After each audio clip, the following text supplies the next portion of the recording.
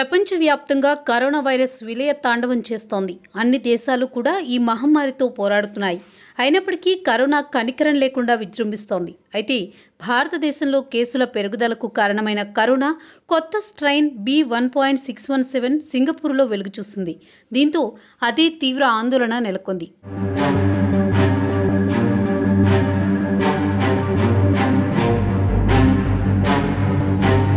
మన దేశంలో corona second వేవ్కి B one point six one seven strain కారణమని పలు అధ్యయనాలు పేర్కొన్నాయి.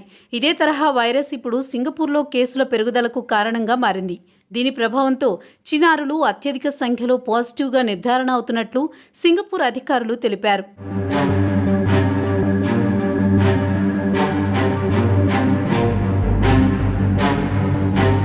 సింగపూర్లో కరోనా కేసులు పెరుగుతుండటంతో ప్రభుత్వం అప్రమత్తమైంది. సింగపూర్లో విద్యాసంస్థలు మూసివేయాలని ఆదేశాలు జారీ అయ్యాయి.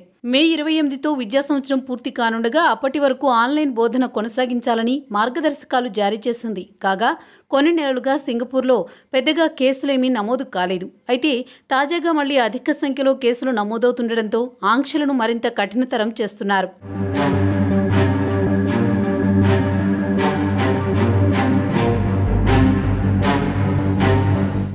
సింగపూర్లో కరోనా కొత్త రకం ప్రబలుతోందని ఆ దేశం నుంచి విమాన సర్వీసులు రద్దు చేయాలని ఢిల్లీ ముఖ్యమంత్రి అరవింద్ కేజ్రీవాల్ చేసిన వ్యాఖ్యలను ఆ దేశం తీవ్రంగా ఖండించింది. అది సింగపూర్ వైరస్ రకం కాదని భారత్లో కనిపించిన వేరియంటేనని వెల్లడించింది.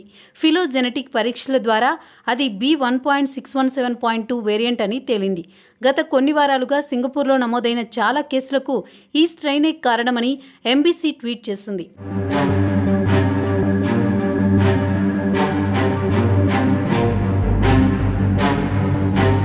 ఈ మేరకు సింగపూర్ ఆరోగ్య శాఖ మంత్రి ఆంగ్ ఏ కుంగ్ మాట్లాడుతూ B one point six one seven strain పిల్లలపై అత్యధిక ప్రభావం చూపిస్తోందని తెలిపారు. జన్యు ఉత్పరివర్తనాలకు లోనైన ఈ వేరియంట్లు చిన్నారుల మధ్య వేగంగా వ్యాప్తి చెందుతున్నాయని వెల్లడించారు.